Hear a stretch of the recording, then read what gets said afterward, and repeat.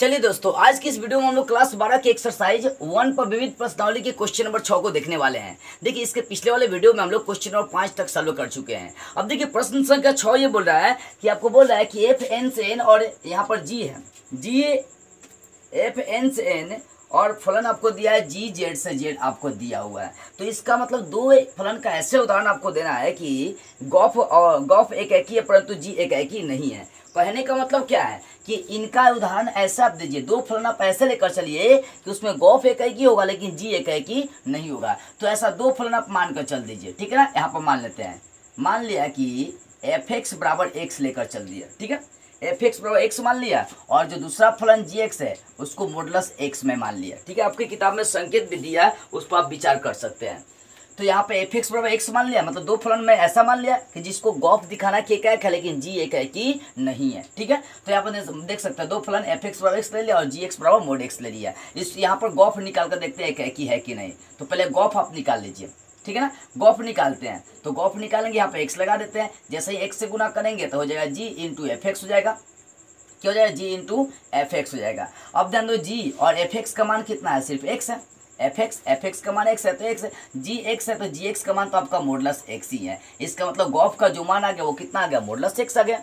Gauff का मान। अब इसको दिखाना एक है कि तो यहाँ पर लेकर चलेंगे एक्स वन एक्स टू के लिए। एक्स वन एक्स टू के लिए यहाँ पर बराबर करके चलेंगे गॉफ एक्स वन। आप बराबर चलेंगे गॉफ एक्स टू। तो गॉफ का मान कितना है? गॉफ का मान यहाँ पर देख सकते हैं, गॉफ का मान, गॉफ एक्स का मान है मोडलस एक्स तो यहाँ पर एक्स यहाँ पर एक्स वन रखेगा तो यहाँ पर हो जाएगा मोडलस एक्स वन। और यहाँ पर हो जाएगा मोडलस एक्स टू। मोडलस आपका हट जाएगा तो सिर्फ़ इसलिए आ जाएगा एक्स वन बराबर एक्स टू आ गया। इसका मतलब क्या हो गया? अतः यह एक एक ही फलन है। अब देखो तो दिखाता है गॉफ एक गॉफ एक एक ही है, लेकिन जो जी फलन है, वो एक एक ही नहीं है। तो यहाँ पर चूँकि ध्यान देंगे, अब चूँकि अब चूँकि जी फलन हम कितना लेकर चल दिए? जी फलन मोडलस एक्स लेकर चले अब मोडलस एक्स का मतलब क्या होता है? दो वैल्यू होता है। इसका प्लस में वैल्यू होता है। कब? जब ज़ीरो से बड़ा होता है। इसका वैल्यू माइनस में भी होता है। कब? जब ये ज़ीरो से छोटा होता है। तो देखिए, फलन एक ही है लेकिन इसका दो प्रतिम जी एक्स का दो प्रतिम है। जी एक्स का जी एक्स का एक्स भी बन रहा है माइनस वन भी बन रहा है। यानी एक वस्तु का दो प्रतिम बन रहा है। इसका मतलब यह है कि नहीं है। लिख देंगे अतः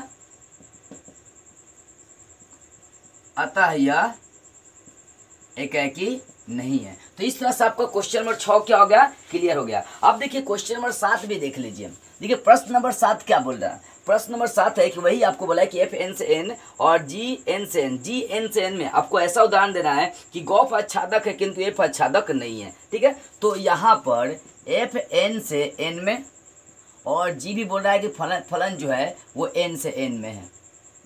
ठीक है? तो यहाँ पर ऐसे दो फलन का उदाहरण देना है कि इसमें गौ पर अच्छादक हो, लेकिन एफ़ आच्छादक नहीं हो, ठीक है? तो ऐसा दो फलन आप मान लीजिए।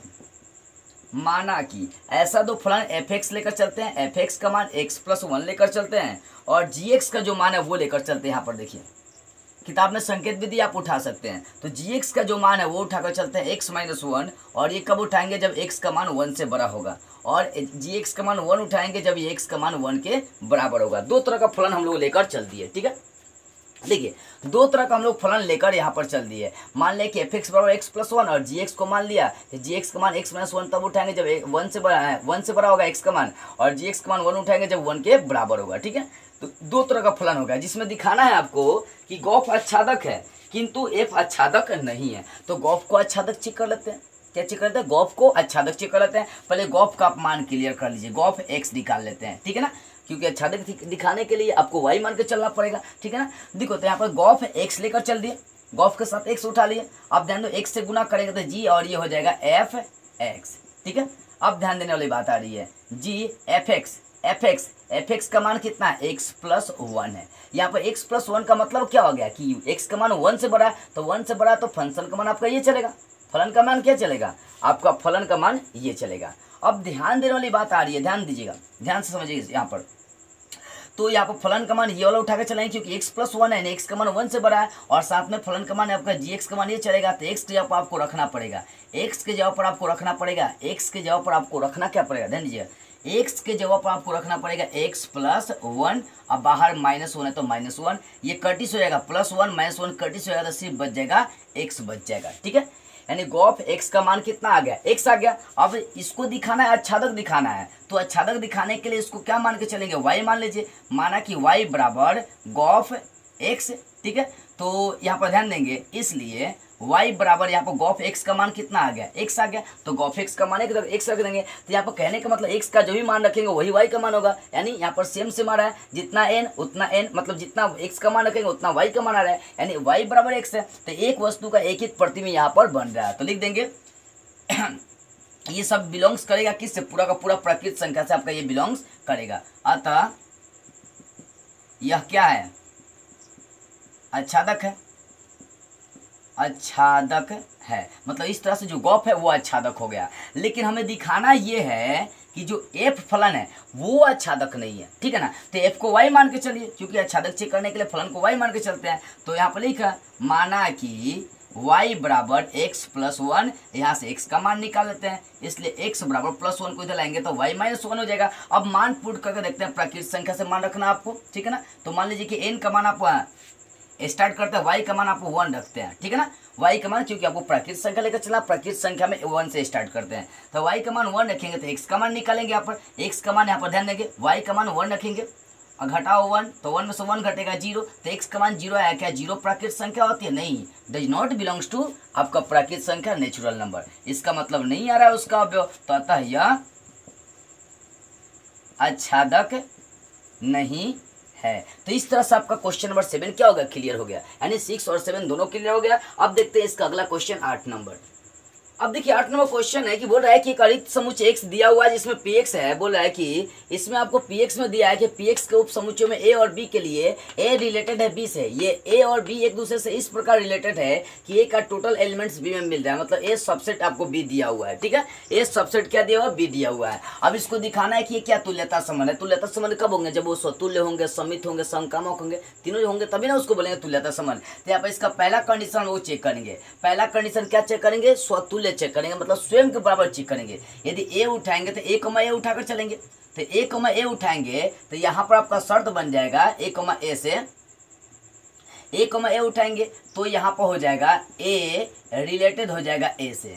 तो सोचिए ए और ए से रिलेटेड है तो क्या ये कंडीशन सही होगा? ए सबसेट ए देखो, कहने का मतलब जब ए उठाएँगे तो आपका ये कंडीशन से होगा। यहाँ ए और बी है तो बोल रहा है कि ए सबसेट है बी का। ए रिलेटेड ए उठा लिए तो ए सबसेट होना चाहिए ए का। देखो ए का टोटल अब ए में मिल सकता है। कोई भी वस्तु अपने आप का उपसमुच्चय होती है, ठीक है ना? अपने आप का सबसेट वो होती है। तो ये वाला कंडीशन क्या हो जाएगा? सही हो जाएगा। चूँकि लिख दीजिए ए कॉमा ए बिलोंग्स कर जा रहा है किससे? आपका आर से बिलोंग्स कर जा रहा है। इसलिए लिख देंगे आर से मतलब आपका रिलेशन से क्या कर रहा है? बिलोंग्स कर जा रहा है। अतः यह क्या है? स्वतुल्य। स्वतुल्य है। अब दो नंबर कंडीशन में क्या दिखाएँगे? सम्मित दिखाएँगे। याद है? सम्मित में ए रिलेटेड बी से है तो आपको दिखाना है कि बी भी रिलेटेड करेगा ए से। ठीक है ना? तो यहाँ पर ध्यान दो।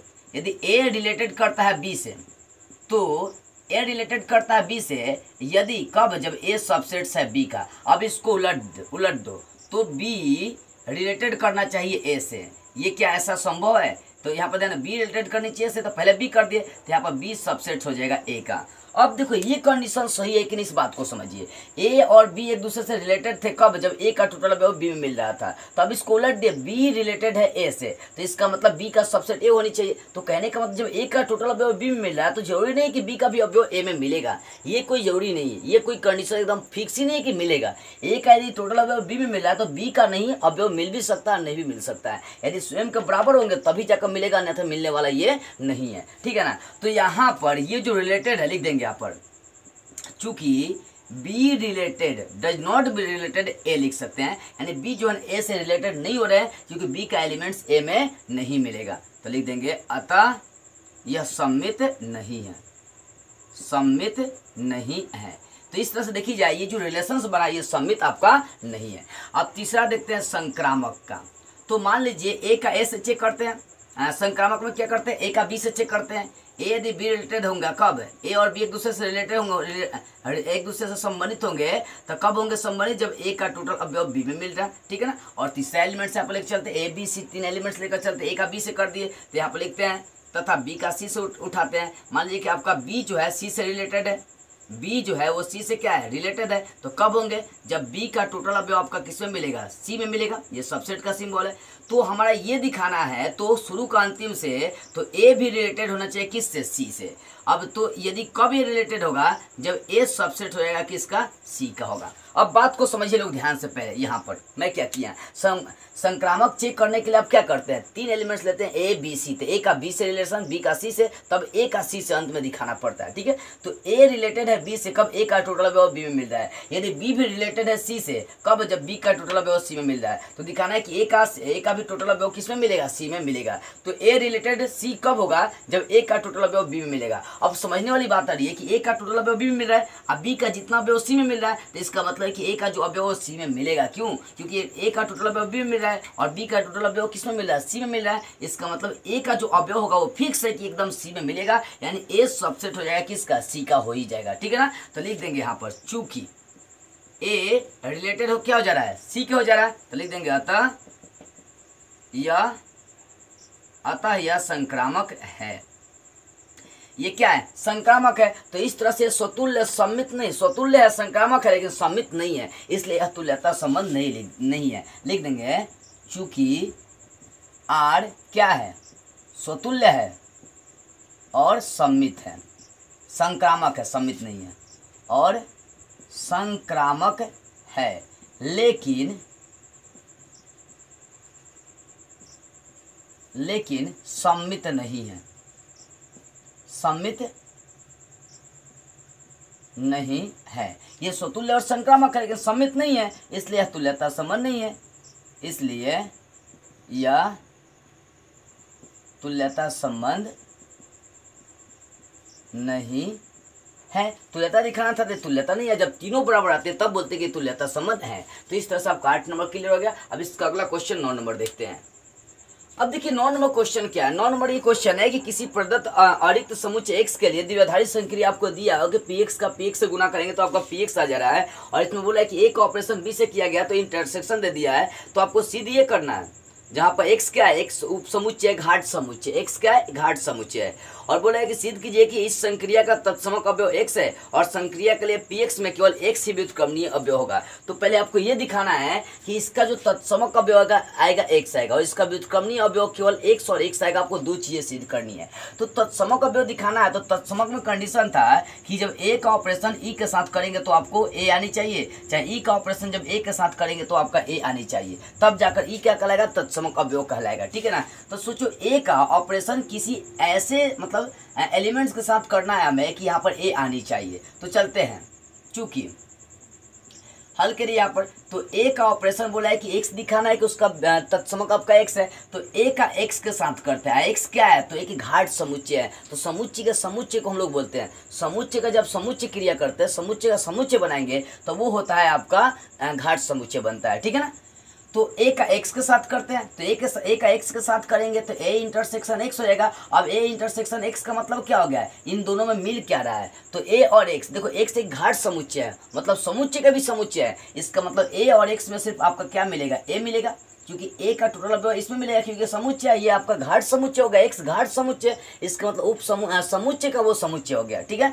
तो ए और एक्स में आपका क्या मिल जाएगा? ए मिल जाएगा। अब इसको उलट कर भी तो देख लीजिए एक्स का ऑपरेशन कर देते हैं किससे? ए से करते हैं। तो वही हो जाएगा। एक्स इसके अनुसार एक्स इंटरसेक्शन ए हो जाएगा तो दोनों में आपका मिलेगा क्या? ए मिलेगा। तो लिख दीजिए यहाँ पर, चूँकि ए का जब ऑपरेशन एक्स के साथ किए तो ए आ गया, या एक्स का ऑपरेशन जब ए के साथ के तो भी क्या आ गया, ए आ गया। तो यहाँ पर लिख सकते हैं कि अतः तत्समक अवयव, अतः तत्समक अवयव क्या है? एक्स है अब दिखाना है कि इसका जो व्युत्क्रमणीय अवयव होगा, वो केवल एक्स ही होगा एक्स के अलावा कुछ नहीं होगा। ठीक है ना? अब इस पर जरा सा फोकस करिए। इस पर फोकस तत्समक अवयव तो आप एक्स ज्ञात करवा दिए। अब आपको दिखाना है कि इसका व्युत्क्रमणीय जो अवयव होगा, वो कितना होगा? सिर्फ़ एक्स होगा। अब व्युत्क्रमणीय अवयव के कंडीशन बताए थे कि ए और बी का ऑपरेशन इस प्रकार करना है कि आपको क्या आनी चाहिए? ई e आनी चाहिए, ठीक है? तो यहाँ ए और बी का ऑपरेशन इस प्रकार करना है कि आपको क्या आनी चाहिए? ई e आनी चाहिए मतलब ई e यहाँ पर क्या चुका है? एक्स आनी चाहिए। ये कंडीशन पहले आप समझिए। यहाँ पर चलते हैं अब। अब यहाँ पर देखो ए और बी का ऑपरेशन इस प्रकार हो कि आपका ई आनी चाहिए और ई का मतलब तत्समक अवयव। यहाँ पर तत्समक अवयव एक्स है तो यहाँ पर एक्स लिख देंगे, ठीक है ना? ई आ चुका है। तो ए और बी का ऑपरेशन इस प्रकार करना है कि एक्स आनी चाहिए आपको, ठीक है? ए और बी का ऑपरेशन दिया आपको कि ए इंटरसेक्शन बी आप बराबर हो जाएगा आपका एक्स तो सोचो, ये कब आएगा? ए और बी का इंटरसेक्शन कब आएगा आपका एक्स जब यहाँ पर ए का भी मान एक्स लेंगे बी का भी मान एक्स लेंगे। तो यहाँ पर लिखेंगे, ये तभी संभव है। ये तभी संभव है। जब ये तभी संभव है, जब क्या लेंगे? जब ए का भी मान क्या होगा? एक्स होगा और बी का भी मान क्या हो जाएगा? एक्स होगा। ठीक है ना? तो यहाँ पर जाएगा, इसलिए एक्स का इंटरसेक्शन जब एक्स से करेंगे तो आपका क्या आ जाएगा? एक्स आ जाएगा। ठीक है ना? एक्स का इंटरसेक्शन एक्स से करेंगे तो आपका तत्सम का भी आ जाएगा। इसका मतलब ये हुआ कि इसका केवल व्युत्क्रमणीय अवयव एक्स होगा? एक्स के अलावा कुछ नहीं होगा। तो लिख सकते हैं। अतः इसका केवल व्युत्क्रमणीय अवयव। व्युत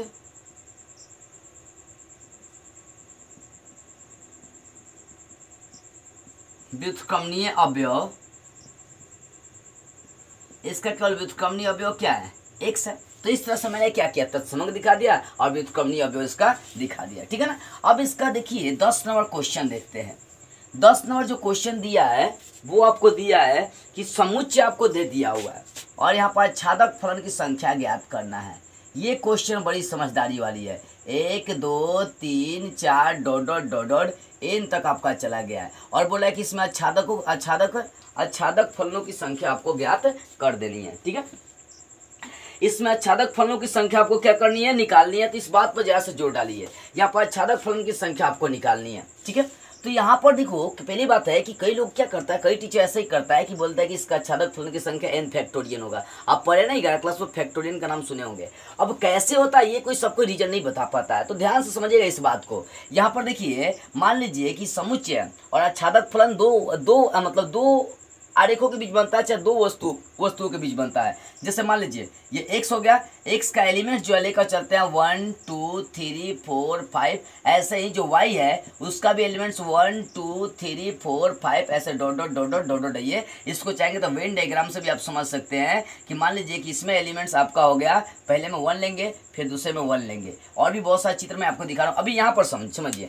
जब एक अवयव लेंगे तो उसका कितना कितना बनेगा? मतलब एक अवयव लेंगे तो उसका प्रतिबिंब आपका एक बनेगा। जब दो अवयव लेंगे तो दो प्रतिबिंब बनेगा। जब तीन लेंगे तो तीन बनेगा, चार लेंगे तो चार बनेगा, पाँच लेंगे तो पाँच। मतलब ऐसे दो फैक्टोरियन तीन फैक्टोरियन चार फैक्टोरियन बनते चला जाएगा। जैसे मान लीजिए अवयव एक ले लिए तो इसका प्रतिबिंब कितना बनेगा? मात्र एक बनेगा। यानी यहाँ पर छादक फलन मात्र एक बनेंगे। ऐसे मान लीजिए दूसरा पिक्चर यदि लेते हैं कि मान लीजिए वन भी ले लिए टू भी ले लिए। ठीक है ना? यहाँ पर वन भी ले लिए टू भी ले लिए। तो यहाँ पर पहले तो आपका ये एक एक होगा। एक एक ये अच्छादक फलन। और दूसरा क्या होगा कि वन का भी टू से बना सकते हैं टू का भी आप वन से बना सकते हैं। तो यहाँ पर अच्छादक फलन की संख्या कितनी हो जाएगी? दो। यहाँ पर एक, यहाँ पर हो जाएगा दो। ठीक है? अब यदि मान लीजिए तीन एलिमेंट्स आप यहाँ पर लेते हैं। वन टू थ्री और यहाँ भी तीन एलिमेंट्स लेते हैं। इसको थोड़ा दूर करते हैं। यहाँ पे तीन एलिमेंट्स वन टू थ्री तो पहला आपका आच्छादक फलन हो जाएगा, ये तीनों सामने सामने वाले के साथ आपका एक आच्छादक फलन बन जाएगा।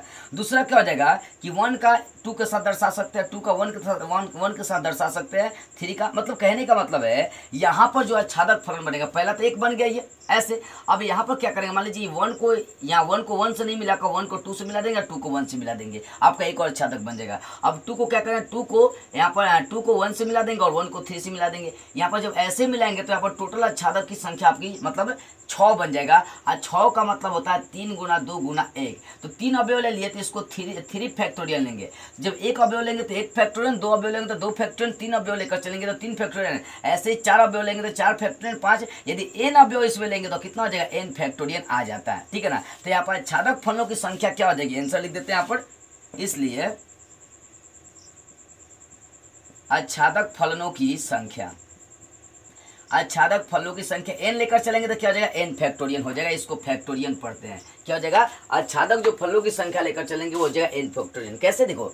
एक अवयव लेंगे तो आच्छादक फलन एक बनेगा, दो लेकर चलेंगे तो दो बनेगा, और तीन लेकर चल रहे हैं तो तीन फैक्टोरियन बना मतलब छः गो बन रहा है। अब चार गो अवयव लेकर चलेंगे तो चार फैक्टोरियन अवयव बनेगा। पाँच गो लेकर चलेंगे तो वहाँ पर आच्छादक फलन पाँच फैक्टोरियन बनेगा। ऐसे ही एन जब लेकर चलेंगे एन लेकर चल रहे अंतिम तक जा रहे एन तक तो एन जब लेकर चलेंगे तो वहाँ पर आच्छादक फलनों की संख्या कितना आ जाएगा? एन फैक्टोरियन तो इस तरह से आपका दस नंबर क्वेश्चन क्लियर हो गया। अब देखते हैं इसका ग्यारह नंबर क्वेश्चन अब देखिए, ग्यारह नंबर क्वेश्चन क्या दिया? ग्यारह नंबर दिया हुआ कि एस और टी एस और टी से एस और टी दो समुच्चय दिया और एस और टी से आपका फलन एफ़ बना दिया। दो क्वेश्चन दिया हुआ है। इसमें दिखाना है कि इसका व्युत्क्रम निकालना एफ़ यूनिवर्स आपको ज्ञात करनी है। तो एफ़ यूनिवर्स ज्ञात करने से पहले इसका अस्तित्व चेक कर लेंगे, है कि नहीं अस्तित्व? मतलब एफ़ यूनिवर्स का। तो सबसे पहले इसको देखेंगे कि एक है कि है कि नहीं अच्छादक है कि नहीं। तो ध्यान दीजिए अलग अलग प्रतिबिंब बनना चाहिए। देखिए पहला घटक सबका अलग अलग है, दूसरा घटक भी क्या? पहले घटक से ही मतलब होता है ज़्यादातर, ठीक है ना? तो इनका पहला घटक अलग अलग है, इसका मतलब है ध्यान एक वस्तु का एक एक रहा है। इसको यदि वेन डायग्राम से आप देखेंगे तो पहला घटक है ए बी सी और दूसरा घटक है थ्री टू वन तो ए का ए से बन जा रहा बी का बी से बन जा रहा और सी का किससे बन जा रहा सी से। तो यहाँ से दोनों में क्या किया है? ये आपका एस वाला हो गया, ये आपका टी वाला समुच्चय हो गया। तो एस और टी में आपका एक फलन बन गया एफ़ तो यहाँ पर एक ही वस्तु का एक एक प्रतिबिंब बन रहा है मतलब एक एक ही भी है और इधर से भी एक एक बन रहा है, इसका मतलब छादी भी है। तो लिख देंगे चूँकि, अतः यह, चूँकि यहाँ फलन एफ़ में, फलन एफ़ में एक एक प्रतिबिंब। बन रहा है इसलिए जो एफ़ है एफ़ इसलिए एफ़ एकाकी और अच्छादी दोनों हैं। एकाकी और आच्छादी मतलब अच्छादक दोनों हैं। इस तरह से एक और आच्छादक ये फलन क्या है? दोनों है। जब एक और अच्छादक है तो यहाँ पे इसके व्युत्क्रम का अस्तित्व है। इसलिए यह यहाँ पर लिख दीजिए, अतः यह व्युतक्रमणीय फलन है। अतः यह व्युत्क्रमणीय फलन है। जब व्युतक्रमणीय फलन है ये तो इसका, जब व्युतक्रमणीय फलन है ये। तो इसका व्युत्क्रम कैसे निकाल लेंगे? एफ़ का व्युत्क्रम करेंगे तो एफ़ इनवर्स हो जाएगा। अब चलिए व्युत्क्रम इसका निकालता है। व्युत्क्रम का मतलब पलट देंगे। थ्री को इधर ए को इधर। थ्री कॉमा हो जाएगा ए यहाँ पर टू को इधर ला देंगे तो टू कॉमा हो जाएगा बी यहाँ पर वन को इधर ला देंगे तो हो जाएगा वन कॉमा सी तो ये क्या निकल गया? उसका व्युत्क्रम निकल गया। ठीक है ना? तो पहले एक एक ही और छादी आपको जाँच कर लेना है। अब जैसा दो नंबर में देखिए, दो नंबर में दिया है, यहाँ पर भी इसका जैसा डायग्राम रेडी कर लेते हैं। पहला घटक है ए बी सी और दूसरा घटक है टू वन वन मतलब टू है और वन है, ठीक है? तो ए का प्रतिबिंब टू बन रहा है ए का टू बन जा रहा है। बी का क्या बन रहा है? वन बन रहा है और सी का भी क्या बन रहा है? वन बन रहा है। अब बताइए, क्या एक एक ही फलन है? ये आपका एस है, ये आपका एक फलन जो दिया है, एक एक ही फलन होगा? नहीं। देखो, दो वस्तु का एक ही प्रतिबिंब बन रहा है। ये दो वस्तु का एक प्रतिबिंब बन रहा है मतलब ये एक ही तो है ही नहीं, क्योंकि एक एक के लिए एक एक प्रतिबिंब बनना चाहिए। लिख दीजिए, चूँकि चूँकि यहाँ बी और यहाँ बी और सी का एक ही प्रतिबिंब, एक ही प्रतिबिंब वन है। इसलिए यह एकाएकी नहीं है। जब एकाएकी नहीं है तो व्युत्क्रमणीय भी नहीं होगा। अतः यहाँ व्युत्क्रम का अस्तित्व नहीं है। पर व्युत्क्रम का अस्तित्व नहीं है, क्योंकि एक एक ही नहीं है? एक एक ही नहीं है तो ये अच्छा ये आपका व्युत्क्रमणीय फलन नहीं होगा, क्योंकि व्युत्क्रमणीय के लिए एक एक ही और आच्छादक दोनों की ज़रूरत होती है। तो इस तरह से आपका क्या होगा? ग्यारह का वन और टू दोनों क्लियर हो गया तो बस आज की इस वीडियो में इतना ही। अगले वीडियो में हम लोग इसके अगले क्वेश्चन को सॉल्व करते हुए फिर मिलेंगे।